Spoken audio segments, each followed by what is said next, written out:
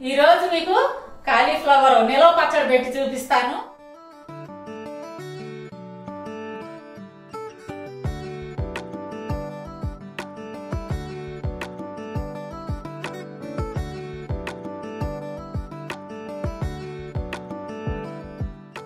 Taste అయితే అద్దిరిపోద్దండి.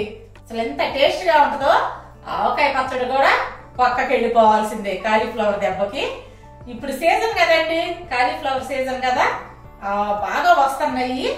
మీరు ఈ ఫస్ట్లో పెట్టుకుంటే బాగా టేస్ట్ ఉంటుందండి. సీజన్ అయిపోయే ముందు అనుకోండి ఆ పువ్వు అంత రుచి ఉండదు. అందుకని చెప్పి ఇప్పుడు తెచ్చుకొని పెట్టుకొని తిని చూసి ఎంత బాగుందో నాకు కామెంట్స్లో చెప్పండి. ఇప్పుడు ఎలా పెట్టాలో చేసి చూపిస్తాను. చూసి నేను చెప్పినట్టే పెట్టుకోండి. మనకి ముందుగా కావాల్సింది క్యాలీఫ్లవరు దాన్ని ఇలా కట్ చేసుకోండి. చిన్న చిన్న పూల మాదిరిగా విప్పదీస్తే పురుగులు ఉంటాయండి. అది చూసుకొని జాగ్రత్తగా కట్ చేసుకోండి. కట్ చేసుకొని బాగా ఒకటికి నాలుగు సార్లు వాటర్తో బాగా కడగాలి. ఎందుకంటే ఈ దీనికి పురుగులు ఎక్కువ ఉంటాయి. మళ్ళీ పురుగు మందు కూడా బాగా ఎక్కువ కొడతారనమాట అందుకోసం బాగా కడగాలి.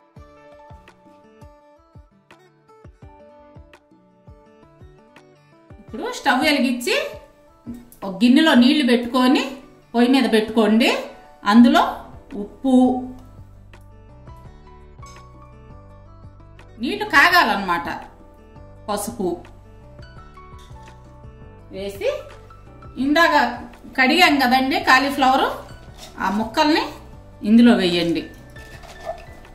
ఎందుకంటే పురుగు మందు కొడతారు కదా ఆ పవర్ పోవటం కోసం అన్నమాట.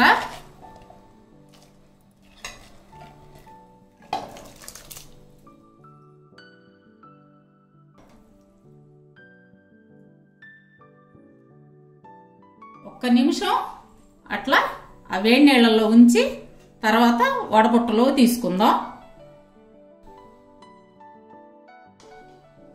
ఇప్పుడు ఒక్క నిమిషం అయిన తర్వాత ఇలా తీసుకొని వడబుట్టలో వేసుకోండి.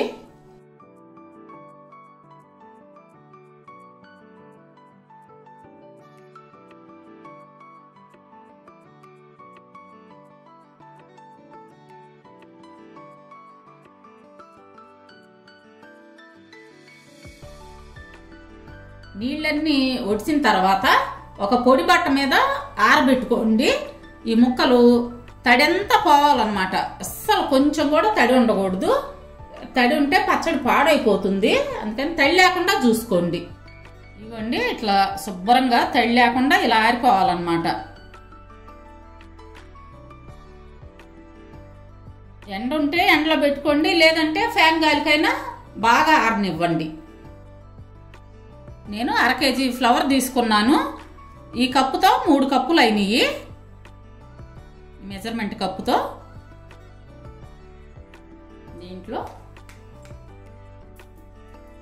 ఒక్క స్పూను మెంతిపిండి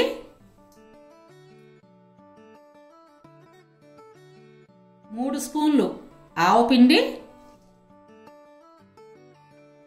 ఇవి కొంచెం ఎండనిచ్చి మిక్సీ పట్టుకోండి. మెంతిపిండి ఆవపిండి ఈ కప్పుతో రెండు కప్పులు కారం.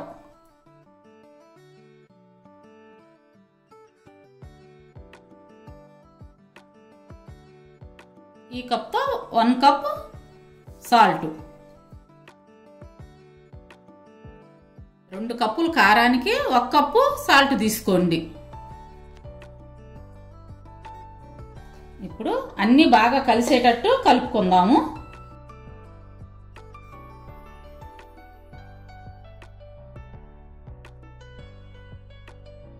బాగా కలిసిందండి. ఇప్పుడు ఇది పక్కన ఉంచేసి తాలింపుకి రెడీ చేసుకుందాం. ఇప్పుడు స్టవ్ వెలిగించుకొని ఆయిల్ పెట్టుకున్నాము ఆయిల్ పావు కేజీ పట్టిద్దండి. ఆయిల్ కాగింది. మీడియం ఫ్లేమ్ మీదే పెట్టుకోండి. ఒక్క స్పూన్ ఆవాలు. నాలుగు ఎండుమిర్చి. పావు టీ స్పూను ఇంగువ. కచ్చా పచ్చిగా దంచుకున్న వెల్లుల్లి. ఒక్క పాయ తీసుకున్నానండి. తీసుకొని పచ్చిగా దంచి పెట్టుకున్నాను. అది వేయండి.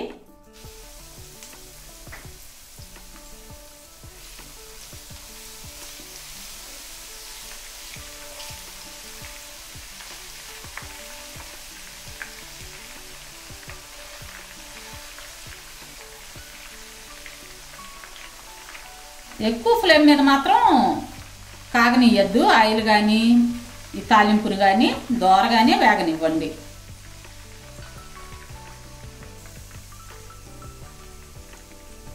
అర టీ స్పూన్ పసుపు.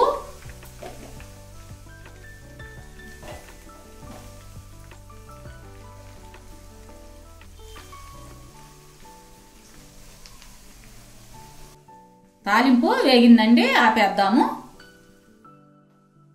కొంచెం ఆరనిద్దాం. తాలింపు చల్లారిపోయింది. ఇప్పుడు ఇందాక కలిపి పెట్టుకున్న ముక్కల్లోకి కలిపేద్దాం.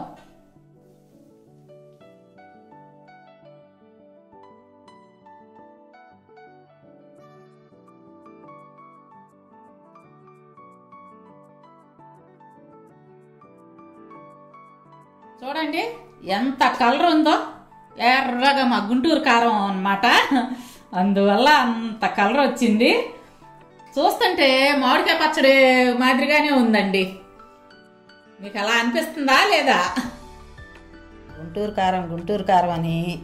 అసలు ఎంత గర్వంగా చెప్పుద్దో చూడండి మా చెల్లి. గుంటూరు కారం అంత స్పెషల్ కదా మరి. అందుకోసమే మరి. ఇప్పుడు తాలింపు వేసి కలిపి పెట్టాం కదా ముక్కల్లో. అది బాగా చల్లారిన తర్వాత నిమ్మరసం అండి. ముప్పావు కప్పు అంటే ఎనిమిది కాయలు తీసుకున్నాను. ఈ సైజు కాయలు ఎనిమిది తీసుకున్నాను. ఈ కప్పుతో ముప్పావు కప్పు వచ్చింది. మీరు పులుపు అడ్జస్ట్ చేసుకొని పులుపు ఎక్కువ తినేవాళ్ళు ఉంటే ఇంకా రెండు కాయలు కలుపుకోవచ్చు. ఎనిమిది కాయలు పులుపు అయితే కరెక్ట్గా సరిపోతుంది. అయితే ఒకటి తాలింపు మాత్రం ఆరిన తర్వాతే కలుపుకోండి.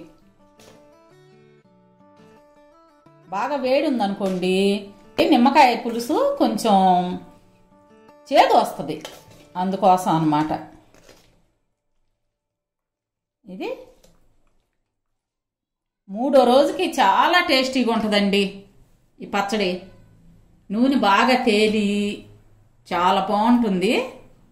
నువ్వు పోసిన పావు కిలో నూనె ఏది బుజ్జమ్మా రేపటికి తేలిద్ది విజయ? అవునా? ఇప్పుడు నిమ్మకాయ కలిపాం కదా. మన వాళ్ళు అడుగుతారని నేనే ముందు అడిగేసా. అవునా? ఇదంతా ఇట్లా లాగేస్తుందండి. ఈ కారం ఇవని నిమ్మకాయ పులుసు. తర్వాత నూనె రేపటికి బాగా తేలుద్ది అనమాట పైకి. మూడో రోజుకి ఆయిల్ చూడండి ఎలా తేలిందో పైకి.